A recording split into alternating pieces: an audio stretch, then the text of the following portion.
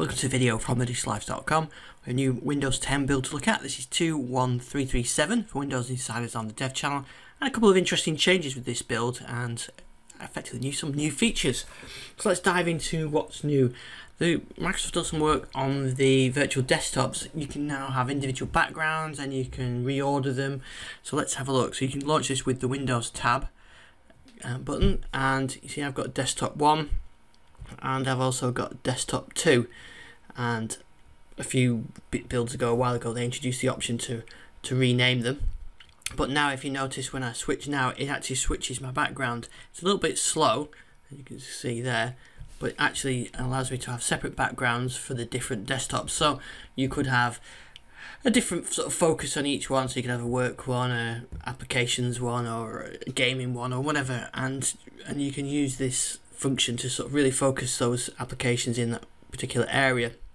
You can set individual backgrounds by right clicking and selecting uh, the background option.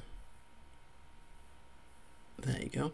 I can choose a different background on that and you can also move them around but you can you're not just through that option you can also uh, drag and drop them around as well rather than sort of alt tabbing through loads of windows, you can sort of create yourself focused desktops, and uh, I think it's a nice feature, especially the being able to uh, change the background as well, so you know what you're working on. So I like that. So here you can see another change is with the File Explorer. It's sort of the additional padding around it, so there's extra spacing between all the items. It makes it easier to use on a touchscreen like this Surface Go. Um, and uh, more modern it works better sort of matches more modern apps as well. There is the option of changing it back so I can show you what it looked like before. Uh, it was in folder options. Uh, it's a bit buried but you've got view and you've got somewhere in here. Uh, use compact size if I apply that.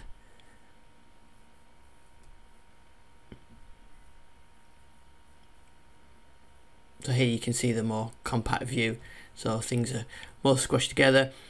If using the mouse, it probably doesn't make that much difference, but definitely when using a touchscreen, it looks better, I think, when it's expanded out. And if you've got a large, a high DPI monitor as well, it probably looks quite good as well. So that was, that's the main, uh, that's the couple of changes. Uh, there was a couple of other things as well. Auto HDR preview for PC gaming.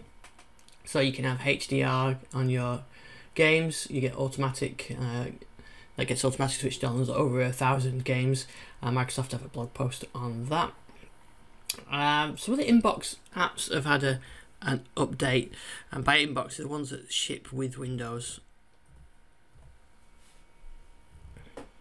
So if you look at Notepad, there it's got a new icon. I've seen this on Windows 10X actually, and this is the the new uh, um, icon for it, and it's actually um, updated via the Microsoft Store rather than being um, built into the OS.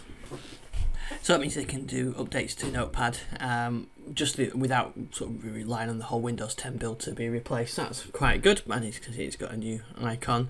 Uh, another thing with the inbox apps, Windows Terminal now ships with uh, as an inbox app as well, updated to the store, but it's part of the uh, initial um, install now, so you could get that as well. I've been using that for for a while now, and I do like that. So that's good to see that that ships as an inbox app.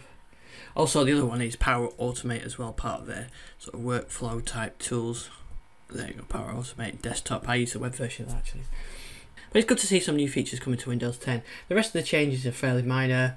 They've um, changed, they've improved the Windows emoji panel for more regions and they've uh, live preview for pin websites uh, to taskbar is now rolling out. It's not on my machine yet, but it's it's on the way rolling out to Windows Insiders.